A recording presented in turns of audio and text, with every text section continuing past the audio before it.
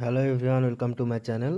Today i will show you how to merge two images in snapseed. So let's start. First select a photo from your gallery. I choose my photo from my gallery then open it with snapseed. Now i'm opening it with snapseed. Then go to the tools and select double exposure option. Then add you have got a you have got many options then click plus image button then select which picture you want to merge. I want to merge it. Now you got two picture and then now you can just take it from here. You can do anything with this picture move to the any point. I am moving this.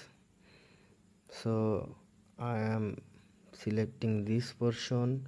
And if you want to take it more brighter then select this button. It will get brighter.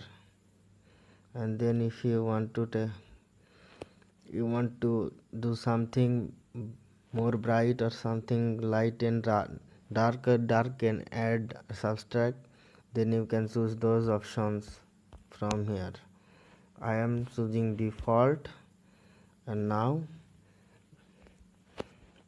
if you click in this save button and done then your picture will be saved as merged in your gallery. This is how you can merge two picture in Snapseed. Thank you for watching my tutorial. If you like this video, do not forget to subscribe my channel. Thank you everyone.